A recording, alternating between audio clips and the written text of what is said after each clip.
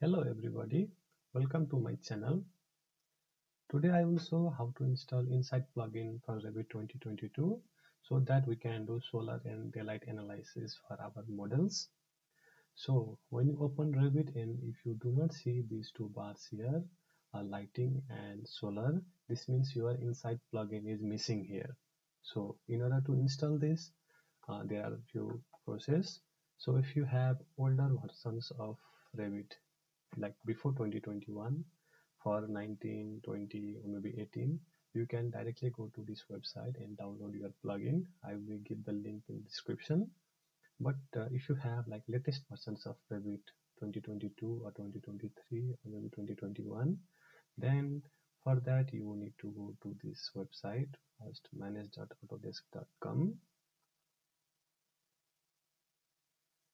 just click it and wait for a second and you will be directed to this website. And what you need to do is just click custom install. And you need to click this uh, tab here create new just click it.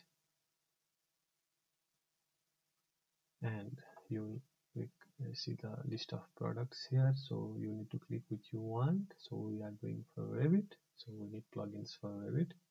Just click Revit here and wait for the second.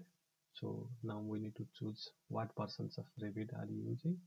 So if you have 2023 latest just click uh, just uh, make it as it is. But if you have different versions just click in there and just click what versions of Revit are you using. For me it's Revit 2022 I selected this. Now just click the extension tab here and look for lighting and solar. So we got the lighting analysis and also here it is the solar analysis. Just click these boxes. And you just need to do is click next. So you will come to this box here. You write your name of the package that will be downloaded for example i'll write Insight and if you want to see what is there in the advanced option just click and it's the path of installation. Uh, you just need to agree and then click download. So what this will do is it will download an installer file which you need to install and then done. So look you it's downloading here. I already have that so i can show you. This is the file. What you need to do is just double click this and install like any other software you install generally. So after completion of this process just open your revit once again. And yeah you will be seeing lighting and solar analysis in this bar in analyze section.